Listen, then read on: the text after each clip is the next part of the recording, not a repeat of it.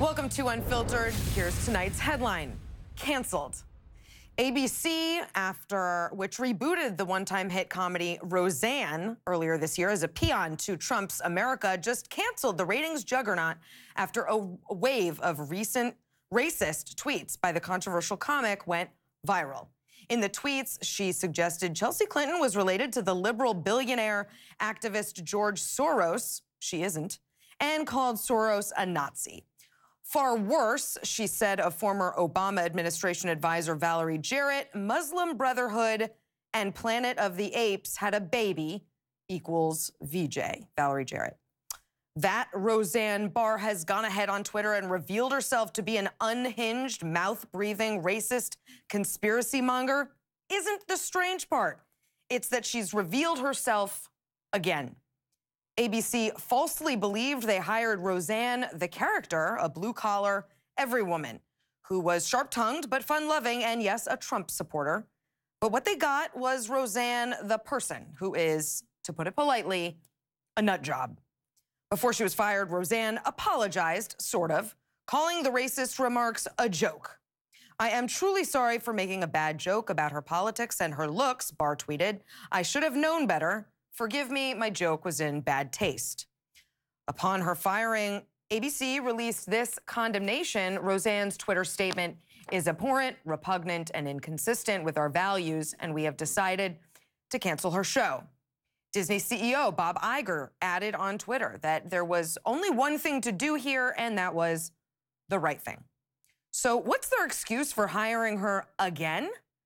Remember, this is a woman who was an early supporter of birtherism, has compared Muslims to Nazis, took to Twitter regularly to attack citizens, both private and public, floated wild conspiracy theories, and bullied Trump opponents with racist, homophobic, and anti Semitic insults.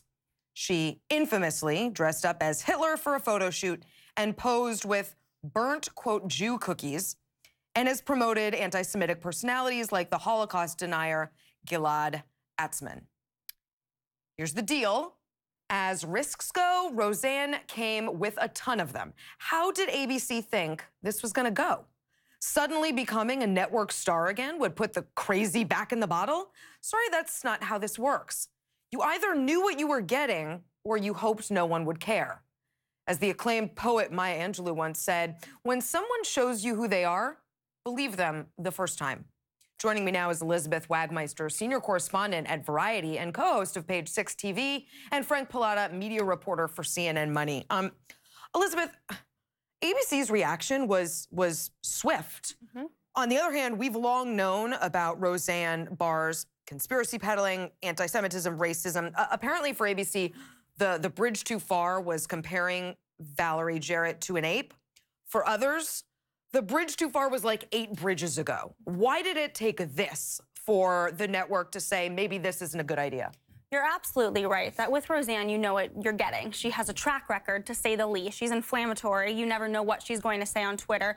Actually, at the upfront presentation just a few weeks ago, which is, of course, the presentation when the network shows all their goods mm-hmm. to the mm-hmm. advertisers, there's $9 billion at stake there going around.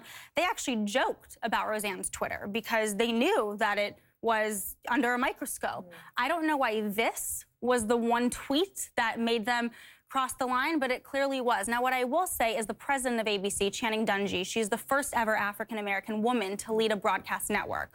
This was not going to happen under her watch. She, as you said, acted swiftly. And even though this was their highest rated show, and by the way, the highest rated scripted show on primetime television in the 18 to 49 demo, doesn't matter if you have 18 million viewers if they're not going to watch and if advertisers are going to pull. Yeah, and Frank, you and I were talking about this earlier. You made you made the point that this tweet was terrible. I think she probably was a bad hire to begin with, but certainly uh, the right decision to fire her. But this is big. It, this was a huge ratings juggernaut. You were actually surprised. Most people on Twitter were as well. If you followed a lot of reporters, a lot of people in the industry, this is a really shocking day for television because think of it this way when in the history of television has the number one scripted show yeah. been just completely wiped out, completely scrubbed. If you go to the ABC press site right now, you can't even find any Roseanne content. It's like it didn't even happen. It is so crazy to think that at the end of March, we had all these think pieces and, and all these written pieces about how the Roseanne effect was going to bring back all of this different kind of family dynamics. Mm. And less than a couple months later, it's completely gone.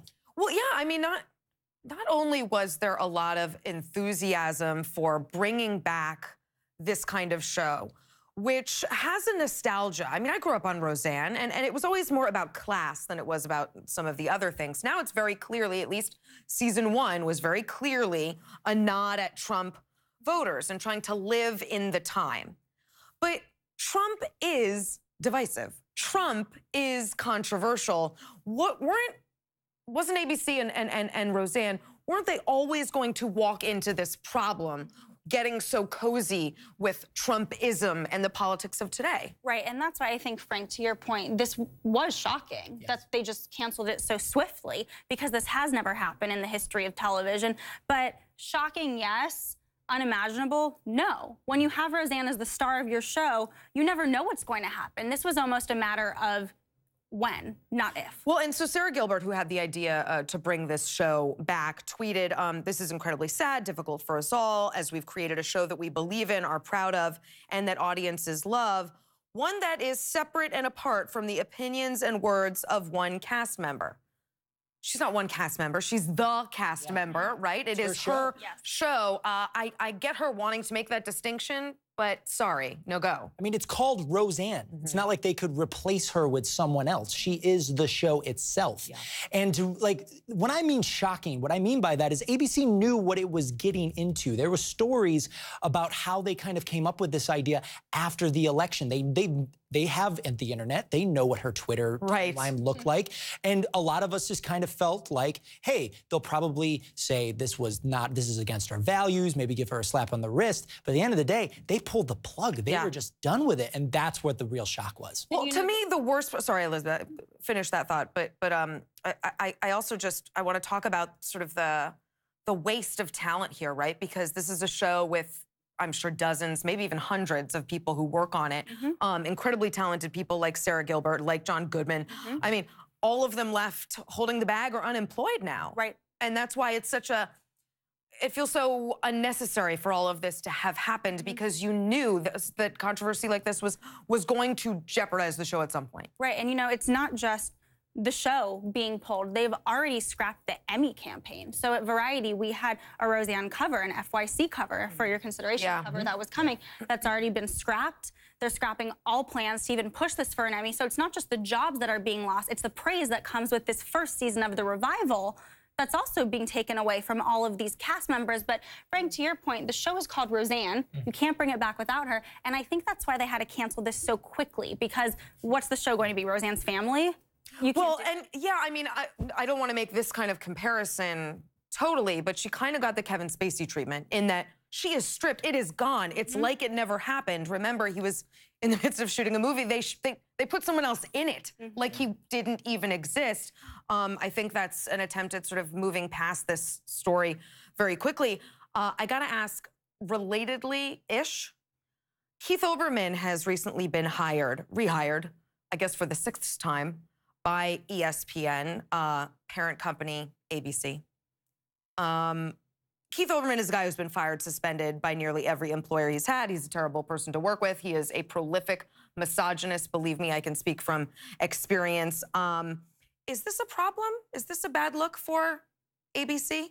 You know, it's an interesting point that you bring up. I think what we'll have to keep an eye on there is how are ratings, where's the audience, and also where are the advertisers? Because with Roseanne, I think they knew there was no way this show was coming back. Nobody would advertise their product with a family friendly sitcom. That's what it was supposed to be. So I think we'll have to wait and see what happens with Keith. Is the hmm. money there or are the viewers there?